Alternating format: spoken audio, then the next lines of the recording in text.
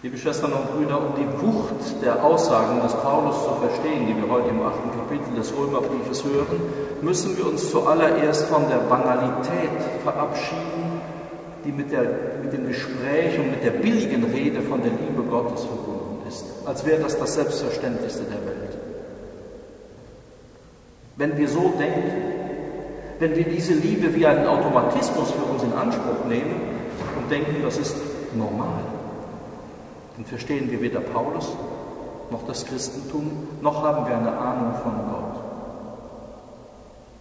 Das ist das, was Paulus hier vertiefen will. Weshalb er diese große Aufzählung mit diesen Gegensatzpaaren hier aufnimmt. Er kommt aus dem Judentum, wo es die verbreitete Überzeugung gibt, dass die Engel eifersüchtig den Herrschaftsbereich Gottes bewachen. Es gibt im Judentum Erzählungen, dass sich die Engel darüber beschweren, warum sich Gott mit so etwas wie Menschen abgibt. Das entspricht nicht seiner Macht, nicht seiner Herrschaft und seiner Herrlichkeit.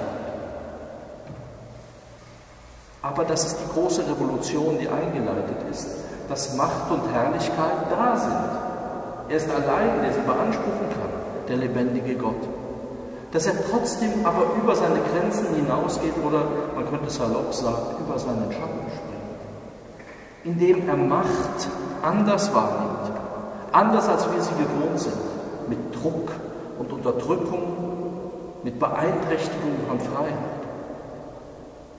Gott nimmt seine Macht wahr in Liebe, ohne dass dadurch seine Macht geringer würde, seine Herrlichkeit geringer würde, seine Herrschaft geringer. Gott hat hier seinen ganz eigenen Weg. Wie sollte er uns mit dem Sohn, den er uns gibt, nicht alles schenken? Es kann kein Dazwischen geben zwischen Gott und Mensch. Es kann sich niemand dazwischenstellen. Kein Engel, keine andere Kreatur, wie Paulus sagt.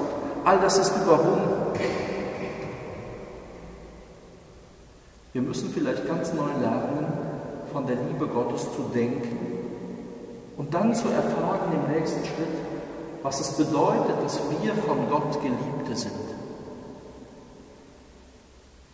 Beim Nachdenken über diese Verse kam mir dieses, diese schöne Liedstrophe von Terstegen in den Sinn.